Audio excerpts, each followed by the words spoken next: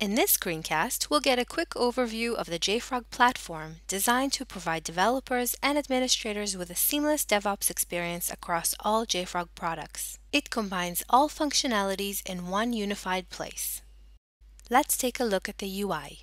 The platform UI includes an application and administration module and is designed to support the most commonly used workflows. We'll start with the application module. Here we have the dashboard, where we can see a use case of one source platform deployment and two target edge nodes connected to it and configured to synchronize security access. Our source JPD includes Artifactory, Xray, Distribution, and Mission Control services, whereas the target edge JPDs include only an Artifactory service to support the distribution process. A JFrog platform deployment is also referred to as a JPD. It defines a single logical unit shared by all JFrog products. Here we can see the access federation configuration between the services, giving us security access from one centralized location. When working in a multi-site topology, it lets you sync your security entities, including users, groups, permission, and access tokens, between the different JPDs. Let's move on to the application search. The global search provides a set of five dedicated searches for each of your resource types, including packages, artifacts, builds, release bundles, and a dedicated security and compliance search for viewing scanned resource results. We can search for artifacts in several ways, including a simple search or using the advanced search. We'll do a quick search for Nginx artifacts, and we can see nine results. Now we'll search for Nginx packages. This way, we can easily get the list of available versions for the package in Artifactory. The Packages page provides easy access to information about all the packages in your repositories. Here we have quick access to the most important summary information, including Xray's scan status, licenses, number of versions, and downloads. We can click on the package to easily drill down for more details. Here we can see the Xray data, including any detected security and license violations. The Distribution tab displays the release bundles containing this package version and the distribution status. The Docker Layer tab displays all the layers of our Docker image. And finally, the Repositories tab displays where this package exists in Artifactory. Let's go to the Builds module. Here we can see three builds with a high Xray status. We can continue to drill down on a specific build number and see general information about the build, as well as the different modules published into Artifactory, their artifacts and dependencies, the Xray data, including detected violations based on watches and associated policies, known security vulnerabilities that we can further examine to get the summary and description,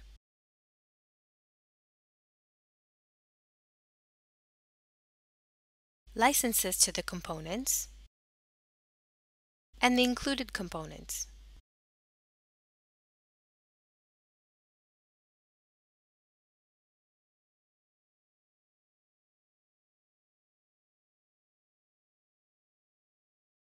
We can go to the Diff tab and compare two builds, displaying all the differences between the builds that were detected, including new artifacts added, dependencies deleted, properties changed, and more.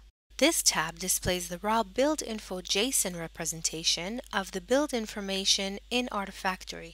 This data can be accessed via REST API or used for debugging. Now let's go over to the distribution module. Here we can see our release bundles. We can select one to view the specific details about this version. The Content tab displays the artifacts, builds, and metadata in this release bundle. The Distribution Tracking tab provides a history for this release bundle version. The Spec tab displays the source Artifactory service from which the artifacts of this release bundle were assembled, as well as the list of queries that assembled the artifacts.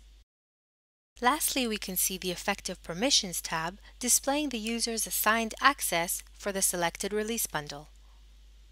Now let's take a peek into the Pipelines module, where we can automate our DevOps processes. JFrog Pipelines makes it easy for us to create even the most complex pipelines. Here we can see our Artifactory and GitHub integrations, allowing us to connect from our pipeline steps through securely stored credentials. And here we can see our pipeline sources representing our source control repository GitHub containing our pipeline's configuration files. And we can see that they are successfully synced. Now we can take a look at our node pool that we'll need to run our pipeline. Every step in your pipeline executes on a build node that has been provisioned with a runtime environment.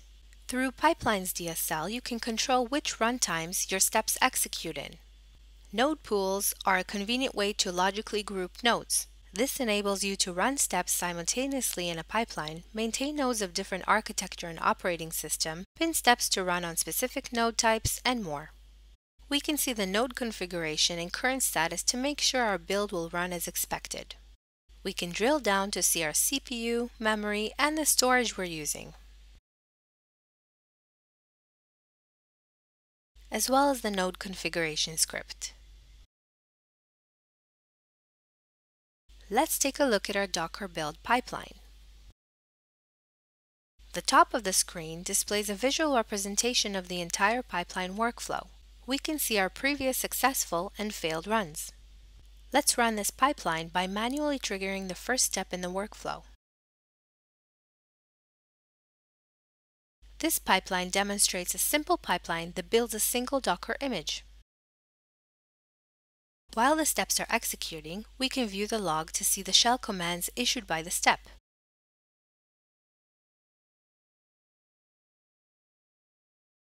We can click on each step to see what is happening.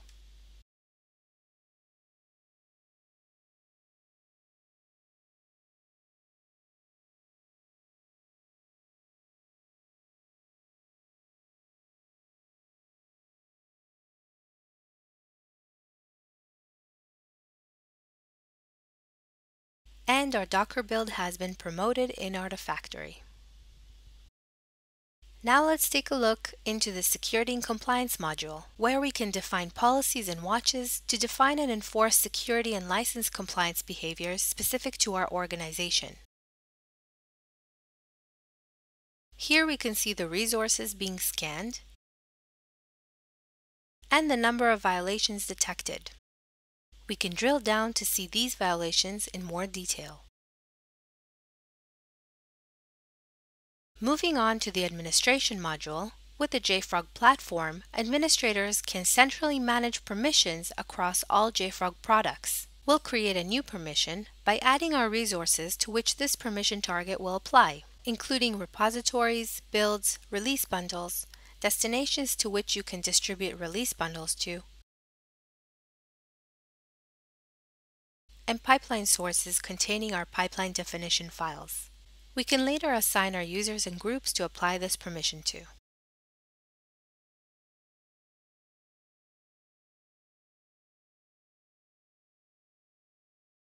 Additional functionalities include adding a single LDAP configuration for the entire platform, as well as monitoring the status of our services that are part of our platform deployment. Thanks for watching this JFrog Platform overview video. Please visit our documentation to learn more about the many platform functionalities and our JFrog website at jfrog.com.